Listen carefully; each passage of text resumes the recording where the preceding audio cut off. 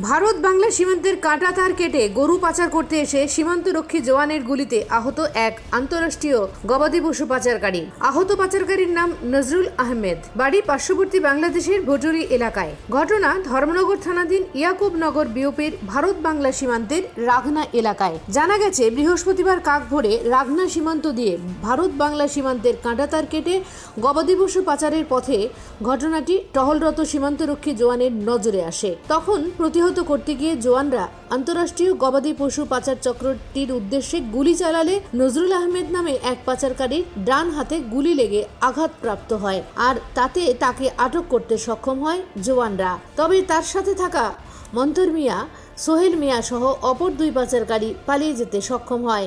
এদিকে পালিয়ে যাওয়া দুজন বাংলাদেশে ফিরে গেছে এবং দুজন ভারতের মাটিতেই লুকিয়ে আছে বলে স্থানীয় সূত্রে খবর। তবে তাদের খোঁজে তল্লাশি চালিয়ে যাচ্ছে ইয়াকুব নগরের সীমান্তরক্ষী জওয়ানরা। পাচারকারী দলে থাকা সকলের বাড়ি বাংলাদেশের বটুলি এলাকায়। এদিকে ধৃত পাচারকারীকে ধর্মনগর জেলা হাসপাতালে চিকিৎসা করিয়ে ধর্মনগর থানার হাতে হস্তান্তর করেছে সীমান্তরক্ষী জওয়ানরা।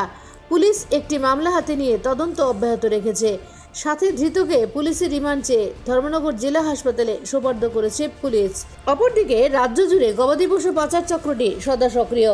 বিশেষ করে অসম এবং মিজোরাম রাজ্য থেকে দামছড়া, চোরাইবাড়ি ও কদমতলা সীমান্ত দিয়ে গবাদি পশু অবৈধভাবে রাজ্যে প্রবেশ করিয়ে ইয়াকুবনগর বিওপি ও কুমারঘাট হয়ে কৈলাসহর, ভারত বাংলা সীমান্ত দিয়ে অহরহ গবাদি পশু পাচার হচ্ছে। আর তাতে পানিসাগর, দামছড়া, কদমতলা, চোরাইবাড়ি ও কম কুমারঘাটের একটি পাচারকারী চক্র এই পাচার চক্রকাণ্ডে যুক্ত রয়েছে। আর সেই আন্তঃরাষ্ট্রীয় পাচার চক্রটি বিভিন্ন থানার পুলিশ বাবুদের ম্যানেজ করে তাদের পাচার বাণিজ্য চালিয়ে যাচ্ছে।